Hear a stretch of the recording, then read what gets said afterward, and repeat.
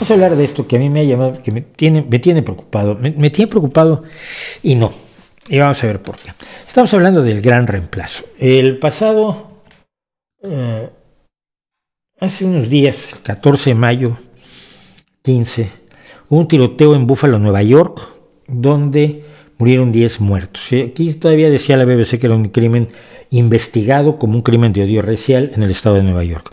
Poco después se descubrió que era un crimen de odio racial, cuyo perpetrador eh, había escrito un manifiesto de 180 páginas que puso en Google Docs, por cierto, hablando de, o sea, todo lo que lo motiva a él es el gran, la idea del gran reemplazo. Y eh, y que esto lo, abordó, lo abordó matando gente. Mató a, 10 personas, hirió a otras 3 y 11 de ellos eran negros porque fue a atacar directamente a, a, a un supermercado en un barrio negro de la ciudad de Buffalo, Nueva York. Estaba armado con un fusil de asalto semiautomático, una escopeta y un rifle de cacería y además se transmitió en vivo la matanza por Twitch con una cámara de casco de estos que, la gente, las GoPro que la gente usa para, para eh, compartir sus hazañas deportivas, pues este lo usó para compartir su odio asesinando seres humanos absolutamente inocentes. Eh, en su manifiesto además expresó su, su, apoyo a otros asesinos que han matado por motivos supremacistas como Dylan Roof, el hombre que en 2015 mató a nueve ciudadanos negros cuando estaban en su iglesia de Charleston rezando, a Anders Benning Breivik, que en 2011 asesinó a ocho personas en Oslo. Oslo fue una isla donde había un campamento de jóvenes del Partido Socialdemócrata noruego y asesinó a 69 jóvenes por el delito de ser socialistas y defender la inmigración. Eh, en la isla de Utoya, por cierto, hay una película maravillosa que se llama Utoya, dedicada a esa, historia que está, está hecha en un, en, una, en un solo plano secuencia que es absolutamente asombroso y admirable, trabajo cinematográfico y el trabajo actoral de la, de la protagonista de esta película. Es una historia aterradora, son 69 chavales entre 14 y 19 años más o menos, no recuerdo los datos exactos, que están reunidos porque pertenecen al Partido Socialista, porque son las juventudes socialistas que sueñan con con, mejorar a su país para los más desprotegidos que son asesinados por un nazi imbécil. También este apoyó a Brenton Tarrant, que en 2019 asesinó a 51 musulmanes atacando dos mezquitas en la ciudad de Christchurch, en Nueva Zelanda. ¿Qué es el, la teoría esta? A ver, primero vamos por esto. En los albores del gobierno de Donald Trump, eh, el 11 de agosto de 2017, hubo una manifestación en la ciudad de Charlottesville, Virginia, donde un grupo de nazis hicieron una marcha de antorchas y gritando los judíos no nos reemplazarán. Como no tenían antorchas de las que usaban los nazis, pues usaron esas antorchas tiki que se utilizan para iluminar bodas en la playa, eh, que, que no son las amenazantes antorchas de las fiestas nocturnas del, las celebraciones del Partido Nacional Socialista de los Trabajadores Alemanes en Nuremberg en 1932. Pero bueno, estos se sentían como si estuvieran Himmler a su lado. Por supuesto que si hay siete y medio millones de judíos en un país de 330 millones de personas, que es el número de judíos que hay en los Estados Unidos, y 232 millones de esos 330 se definen como blancos, pues reemplazarlos va a ser un poco difícil pero les gusta gritar ese tipo de cosas, los judíos no nos reemplazarán. No, no los van a reemplazar, no te preocupes. Eh, la mayoría de los amotinados el 6 de junio, el 6 de enero, perdón, en el Capitolio, hace un año y par de meses, tres meses, creen en la conspiración del gran reemplazo. Eh, los asesinatos en la sinagoga del Árbol de la Vida en Pittsburgh con 11 muertos y 6 heridos, los asesinatos de Patrick Crucius en El Paso, donde mató a 23 personas e hirió otras 23, todos de origen hispanoamericano, etcétera, eh, son gente que cree en la teoría del, gran reemplazo. Es decir, que su raza, porque ellos creen en las razas, va a ser reemplazada por otras razas. Y esa teoría la desarrolló este señor que parece persona, pero no es, que se llama Renaud Camus y es un autor francés que en 2010 escribió un libro, El abecedario, de la no de la inocencia, pero al mismo tiempo mete un guion allí que se queda también el, abecedario del no daño. Y eh, el año siguiente con el libro el, el Gran Reemplazo, la introducción al reemplacismo global. ¿Cuál es su visión? Su visión es que hay sobre todo ciertas élites malvadas, sobre todo en la izquierda del mundo, que está llevando a cabo un proyecto fríamente calculado para sustituir a los europeos por no europeos. La inmigración se considera una forma de establecer este reemplazo.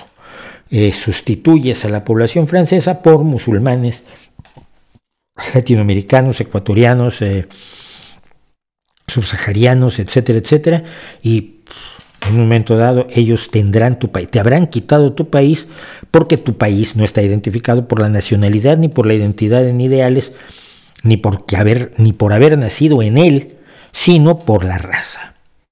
O sea, es una teoría eminentemente racista. Eh, todos Primero que nada, todos los estudios demográficos que se puedan hacer al respecto te dicen que no va a pasar, que no, hay, no, es, posible, no es posible que pase. Pero en la historia tenemos la idea de que los europeos intentaron esto, intentaron colonizar y reemplazar a los habitantes de, distintos países que, que colonizaron. ¿no? Solo tuvieron éxito en Estados Unidos y fue sin, sin exactamente proponérselo, ¿no? Simplemente estaban ocupando tierras que decían que para qué están los, los indios ahí, no, las, no la usen, nosotros la podemos convertir esto en grandes campos de algodón y en fábricas, etcétera, etcétera. Hay, un, hay una especie de, preocupación de la, de la, contracolonización por parte de los europeos allí, de los europeos de la derecha más boba. Eh, esta visión no es propia, no es nueva de Renault, lo que le da el, de Renault Camus, lo que le da es el nombre, porque hay unas hay ideas anteriores que lo anteceden, eh, la, conspiración del genocidio blanco del neonazi David Lane, que escribió el manifiesto del genocidio blanco en 1995, también dice que van a matar a todos los blancos y se van a apoderar de esta tierra las personas inmigrantes. Oye, pero Estados Unidos es un país de inmigrantes. Ya, ya, bueno, pero, pero, pero, pero, ya, mira, ese es el problema. Algunos inmigrantes son tan brutos que se ponen del lado de los antiinmigrantes. Y uno de los ejemplos clásicos es, ahora no recuerdo su nombre, el, tipo con cara de vampiro, eh, Stephen, no me acuerdo su nombre, uno de los, el, que promovió todo el, el movimiento antiinmigrante en la, en la, en el gobierno de Donald Trump, Stephen Miller, y que sus abuelos llegaron de Europa, eran judíos procedentes de Europa que venían a ganarse la vida como se la ganaban, en condiciones horrorosas, de, sobajados, humillados y demás, y que fueron los inmigrantes como los irlandeses y los escoceses y los holandeses y los británicos, que levantaron Estados Unidos. Y este nieto de inmigrantes, de pronto es el gran antiinmigrante, ¿no? el, gran promotor de, las, de las políticas antiinmigrantes de Donald Trump. Entonces, son muchos los, los, eh, teorías o, posturas similares a la idea del gran reemplazo que han mantenido eh, distintos teóricos del nazismo, y esta idea la están recuperando. Igual Le Pen que Semur, que es el señor que está más a la derecha que Le Pen, si usted me lo quiere creer, eh, Víctor Orbán, la AFD, la alternativa, alternativa por Alemania en Alemania, los nazis belgas del Blams Bergman, Blams perdón, Mateo Salvini ha, ha hablado de la, del gran reemplazo y lo ha hecho, por supuesto, en España el señor, el líder de los nazis eh, españoles, que es Salvador Abascal. Creo que ya podemos empezar. Ya me van a permitir que llame nazi al partido nazi de Vox, porque hace cosas nazis y cuando haces cosas nazis, ¿qué eres? nazi, aunque no te llames nazi. Es como los que se llaman de izquierda sin serlo, los que llaman demócratas sin serlo. No te puedes llamar, puedes llamarte como quieras, lo que eres. En este caso, pues un partido nazi. Pues voy a decir que es lo más preocupante. Eh, por, dar ejemplos eh, sobre qué tan viable es el gran reemplazo, los investigadores han estimado que la población musulmana de Francia está en alrededor del 10%, 2017. Así que para 2050 podrían aumentar hasta el 12,7%, a 18% con una alta inmigración. El problema es que ya para entonces habrán nacido muchos musulmanes franceses que han nacido en Francia, que han nacido con la cultura francesa y muchos se volverán, como muchos franceses, ateos. Y además dejarán de tener hijos al ritmo que se tienen cuando se vive en países donde necesitas tener muchos hijos porque son una fuente de, de mano de obra y porque además tienes una alta mortandad infantil. Cuando las condiciones económicas mejoran, se deja de tener la cantidad de hijos que se solía tener. Independientemente de tu religión, porque esto se ha visto, los católicos quieren tener kilos de hijos, bueno, los, de López de lo hacen, pero los católicos que, que tenían 12 hijos como mi abuelo, un buen católico asturiano avecindado en México, ninguno de sus hijos, dijo, nada de sus hijas tuvo seis hijos, pero la mayoría tuvieron dos, tres, uno. Yo, he tenido tres hijos. Cuando mejoran las condiciones económicas, independientemente de tu religión, tienes menos hijos. Punto. Entonces, esos musulmanes se van a convertir en no musulmanes en gran medida y serán y son franceses. Entonces, este, todos los estudios que se hagan al respecto te dicen que no, que es inviable, que no tiene ningún motivo de preocupación realmente las teorías del gran reemplazo. El problema es este, el problema es que en Estados Unidos personajes como este señor, se llama Tucker Carlson, aunque se parezca mucho a Iker Jiménez, eh, y aquí lo vemos horrorizado porque ha visto una persona más morena que él, eh, este señor se llama Tucker Carlson y es el gran defensor del nazismo estadounidense en la actualidad y el gran promotor del gran reemplazo, de la teoría de la hipótesis, de la teoría de la conspiración, que es el gran reemplazo. Y Tucker Carlson ahora está obviamente en el disparadero porque todas sus ideas son las que retomó el asesino de, Búfalo, cuyo nombre no, doy, no, digo porque me niego, son más importantes sus víctimas que él.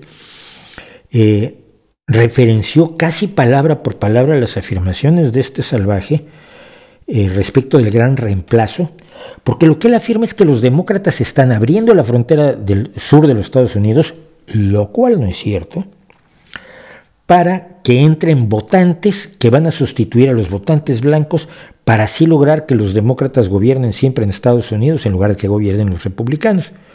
Que si se limitaran el voto popular de los estadounidenses como están hoy, los republicanos no gobernarían, ni tendrían tantos senadores y tantos diputados. Esto lo consiguen redibujando los distritos de manera que las, eh, proporciones de personas, si tú tienes muchos demócratas en cinco distritos, eh, reúnes a todos esos demócratas en un solo distrito y los otros cuatro los repartes entre, entre sitios con mayoría republicana y de pronto tienes cuatro representantes republicanos y uno demócrata, pese a que números amplios deberías tener cuatro demócratas y un republicano. El, el rediseño de los distritos es una de las formas que tiene Estados Unidos de ejercer la antidemocracia y, hay mucha gente preocupada por eso. Pero, pero esa es la teoría pues, que está eh, lanzando el señor Tucker Carlson, que va a haber un montón de votantes que hagan que los demócratas ganen para siempre, y ahora está tratando de salirse del lío que lo, que lo ha metido el hecho de que es el ídolo de un hombre que ha asesinado a 10 personas inocentes por creer en las teorías de estos psicópatas.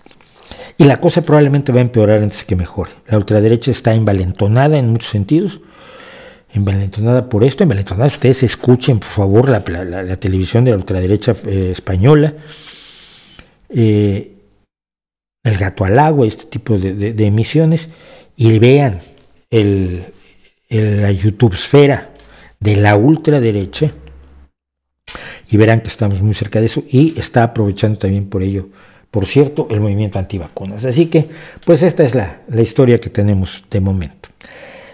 El gran reemplazo, que no existe ni puede siquiera existir. El plan, el plan Calergi era otra, otra versión del gran reemplazo. Sí, se, lo, se, lo, atribuyeron a un pobre diplomático llamado Calergi que lo que él decía es que el futuro era multirracial. Y pues es que sí es, es que no hay de otra. El futuro es mestizo. ¿Y saben por qué? Porque el pasado es mestizo, no hay, no hay, no hay poblaciones puras. Todas las poblaciones han estado sujetas a corrientes migratorias y a gente que se mete en la cama con todo el resto de la humanidad. Háganse su prueba de, ADN. Vayan al 23andMe o a, o a MyHeritage, yo le, le hice en MyHeritage, y entonces van a ver de dónde salieron.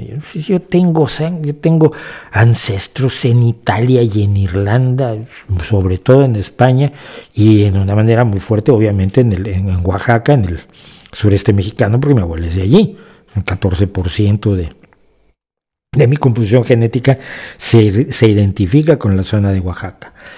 Pero nadie, es que hay un caso que es famoso y es el del supremacista blanco, este que quería hacer una ciudad solo para blancos como él. Y por alguna, de, alguna manera en, ¿cómo se llamaba el show? Show, Patricia Show o algo así. Un, un show que llevaba una, una, conductora negra y lo convencieron de hacerse un examen de, un análisis de genético. 86% European and uh,